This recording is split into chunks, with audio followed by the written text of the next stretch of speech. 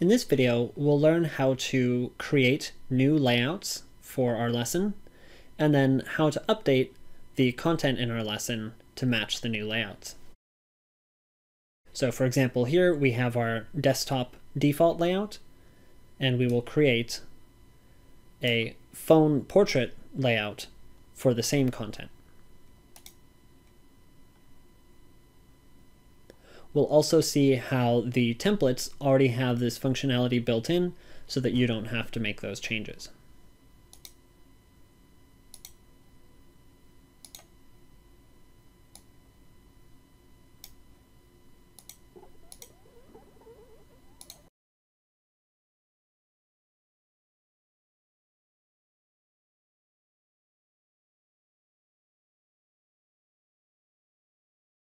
We are here in our sample lesson, which has a few simple pages, an interactive page, and a couple of quiz templates.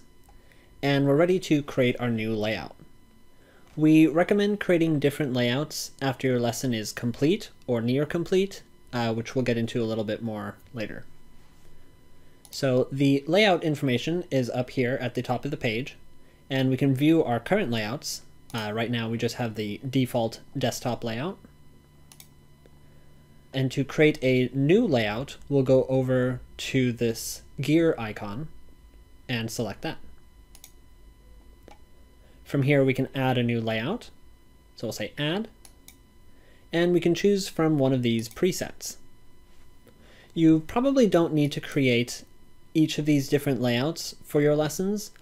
In many cases, desktops and a phone layout are sufficient because the tablet landscape is pretty similar to the desktop and some of them are very close to one another. If you create a phone portrait layout, uh, you probably don't need to bother with a phone landscape, uh, but it depends on your content. Similarly, your content might not make any sense to be viewed, say, on a phone. Uh, for example, if you have a software simulation, you probably don't want your learners to view that on a phone uh, because the screen area will be too small to see both the context of where they are clicking and read all the details in the screenshots uh, that they need to make effective choices. When making a new layout, uh, start with one. You don't want to create all of them at once and then go and edit them. Uh, and we'll see why that is a little bit later. So let's go ahead and create our phone portrait layout. So we'll choose that. The default width and height is fine. We'll say OK. And then OK.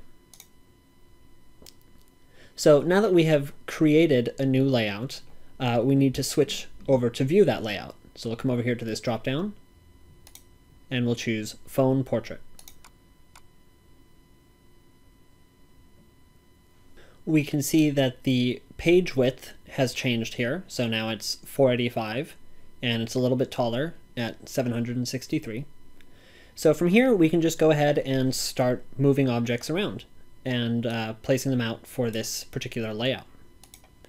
So for example, this text looks fine. Maybe I can move it up or down.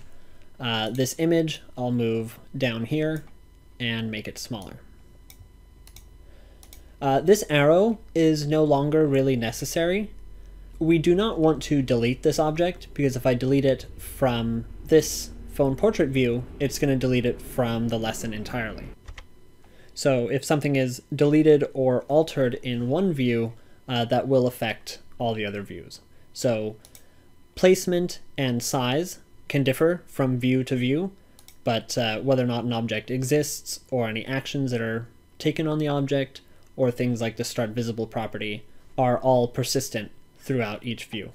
So if you don't want an object in a particular view, uh, simply move it off screen. So we'll just place that arrow there and uh, when we view the desktop version, it'll still be where it needs to be. So we'll just go through and start relaying out our objects on different pages.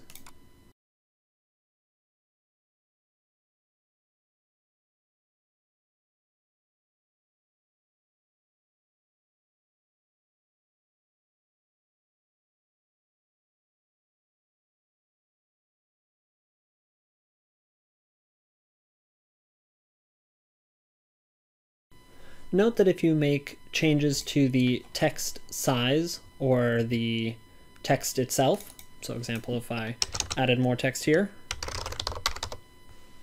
Uh, those changes, of course, will be in all of the different uh, layouts. However, uh, media can be swapped. So for example, I have this laptop image.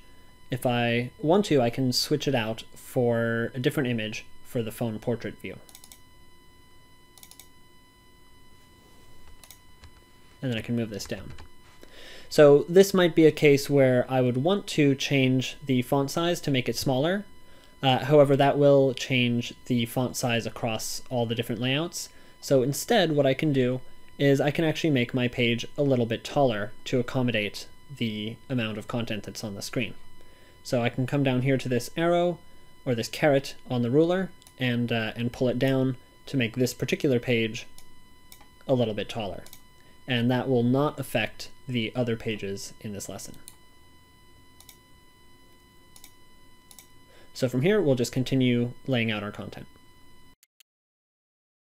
This page is a little bit different. Uh, I might need to alter this quite a bit to change the, uh, the layout from a horizontal layout to sort of vertical tabs.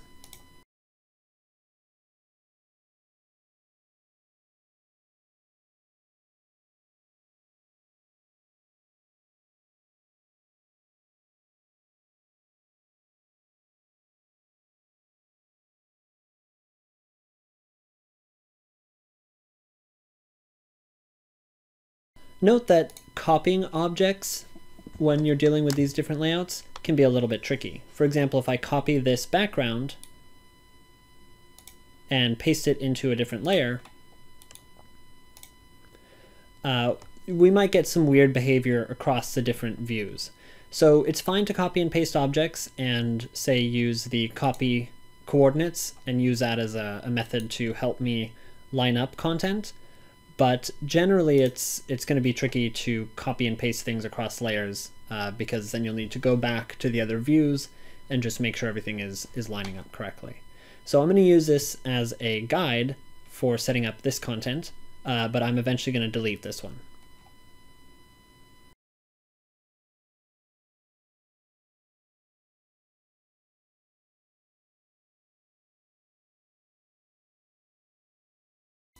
So now that I've lined up this layer, I can go back and delete this background image.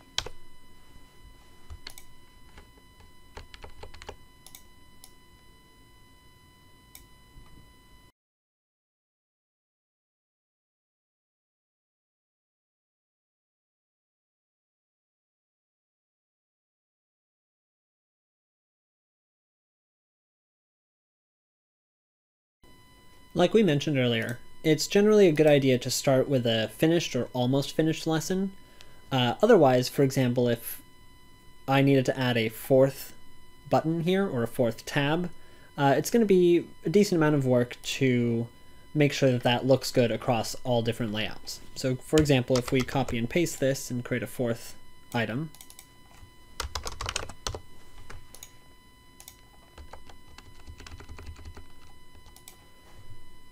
and a fourth layer.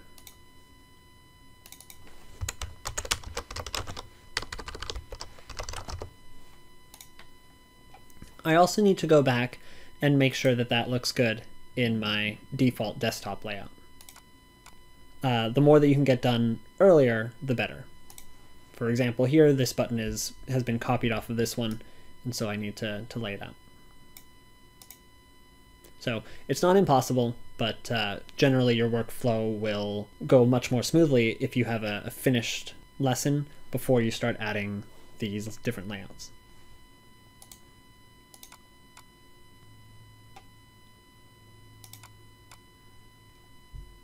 So these last three pages here were built using our question templates or question templates and results templates, and they've already been set up pretty much to to work. So the objects have been moved over uh, and they're sort of laid out so they're not going to run off the edge of the screen and the feedback is shown below.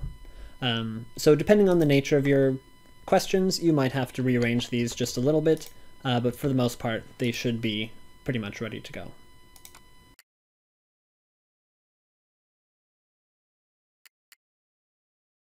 And same with the results, it's already sort of laid out uh, with this phone portrait in mind. the master template as well. So let's go back to the beginning and see how this looks. So we'll go ahead and preview. And here I can see my desktop layout. And in order to simulate the phone layout, I can just drag the preview window so that it's shorter or less wide. And then it switches to the, uh, the phone portrait mode.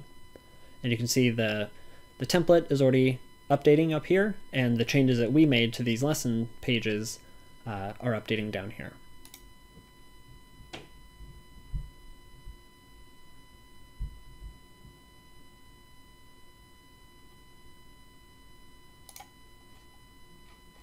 And there's our different image. We have a phone in this layout, and if we switch back to the desktop layout, it switches to the desktop layout, or the desktop image.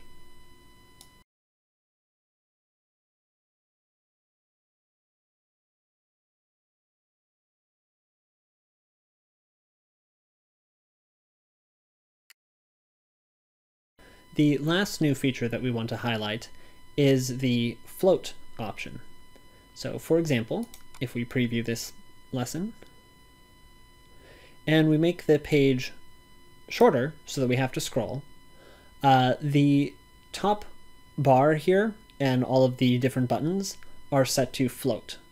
Uh, that means that if I scroll down, the position of these objects updates, so it's always at the top of the current viewport.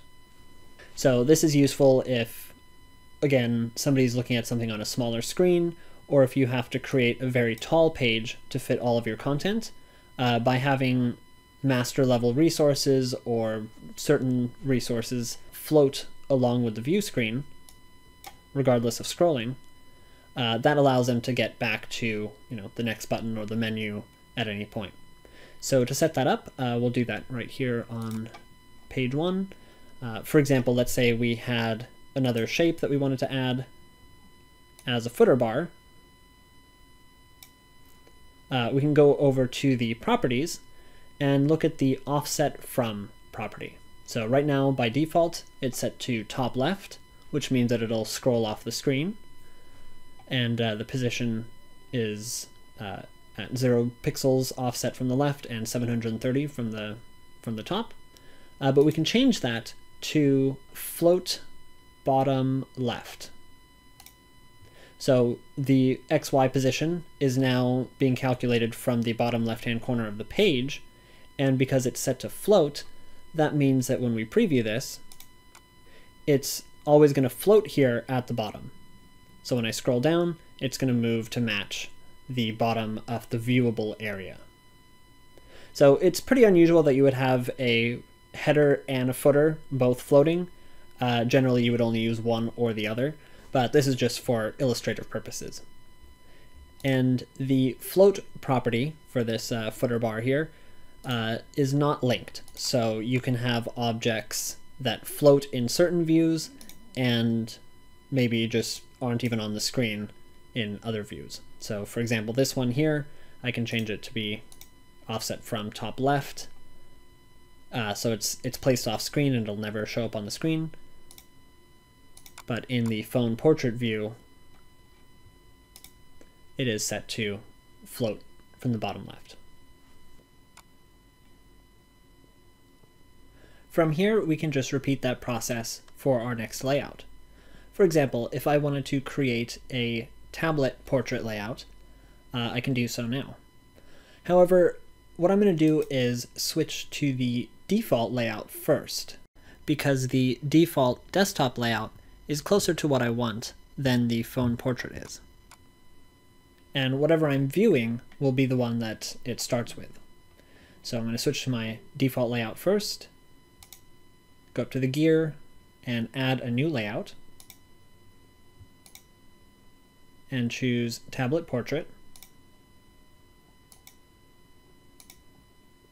And now I'm going to switch to the tablet portrait layout. And from here, I can make whatever adjustments I need to make using the desktop as a starting point.